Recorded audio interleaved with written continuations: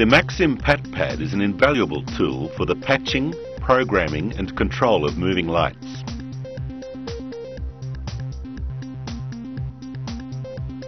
Patched fixtures are selected using the numbers on the yellow bank. The yellow faders are used for fixture intensity. You can automatically load the fixtures that are currently faded up on stage. The six parameter displayers are used to control the fixture. Each displayer can control up to four parameters. Tapping a parameter name shows its current value and gives you control by either mousing or tapping.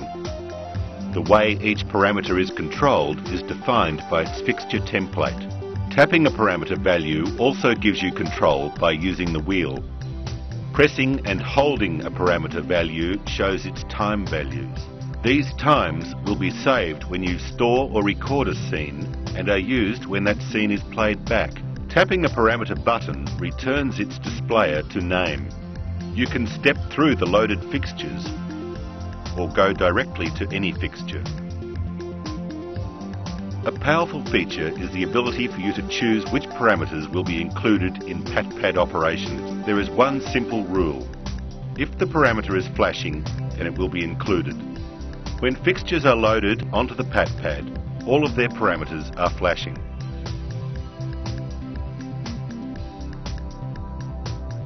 Filters are used to select parameters. They can be selected individually or they can be selected by groups of focus, beam or colour. All altered parameters can be automatically filtered. You can even save and recall your own filter selections. Highlights are used to select entire fixtures. To exclude a fixture, clear its highlight. With filters and highlights, it is easy to see which parameters will be included because they are flashing.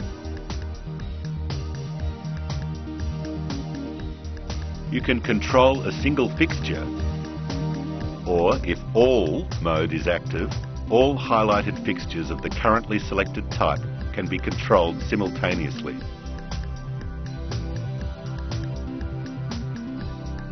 Groups of fixtures can be stored, named and recalled.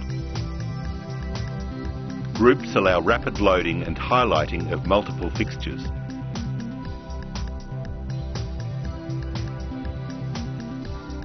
Fixtures can be quickly sent to a known home position.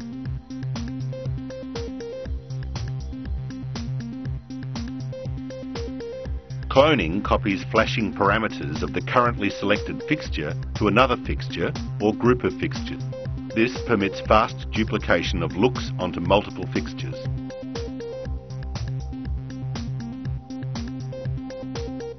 Presets and palettes are a powerful programming tool. They contain filtered parameter information that can be stored or recalled from the PatPad and can also be automatically recalled by any scene that is linked to them. Therefore, editing a single preset or palette will automatically update all linked scenes, often saving hours of programming time.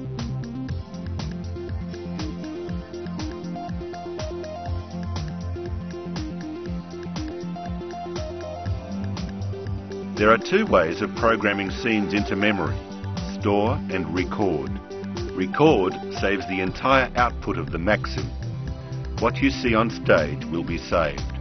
Store is best used to create building block scenes for the ad-lib style of show because it only saves flashing parameters. To store a scene, press Store, Scene Number.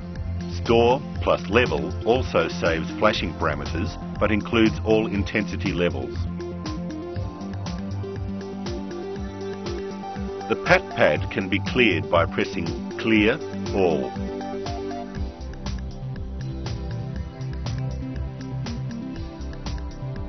Scenes can be played back from the red bank in scene mode or from the blue bank at any time. Fixture parameters are played back on a latest takes precedence basis. When a scene fader is raised above zero, the parameters in that scene are triggered and go to their settings in that scene in their stored time. You only have to fully fade up a scene if it contains intensity levels.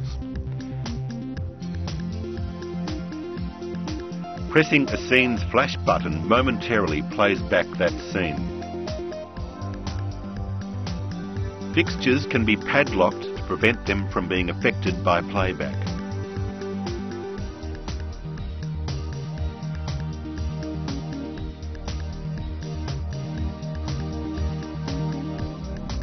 If a chase has been recorded and the steps contain only focus parameters, then you can vary the look of the chase whilst it is being played back by fading up different colour or gobo scenes or by pressing their flash buttons. The speed of the chase and its crossfade time are easily controlled. The fan menu saves you programming time by allowing you to simply fan the pan. It can be from the midpoint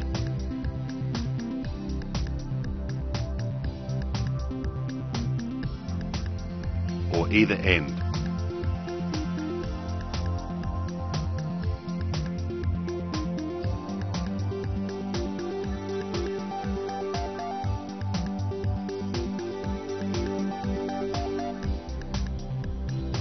You can also fan the tilt from the midpoint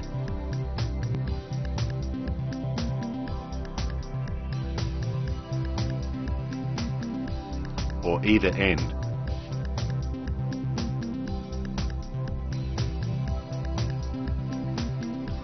You can even fan the times to quickly create stunning effects.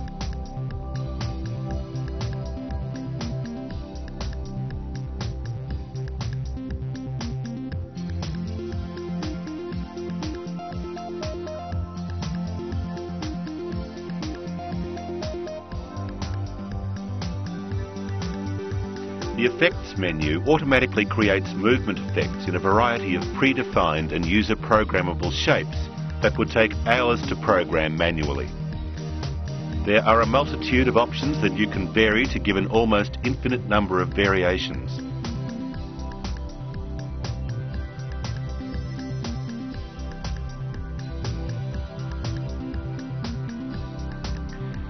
These effects can be saved either as a standalone effect that can be instantly applied to the current stage look, or they can be included as a part of a scene.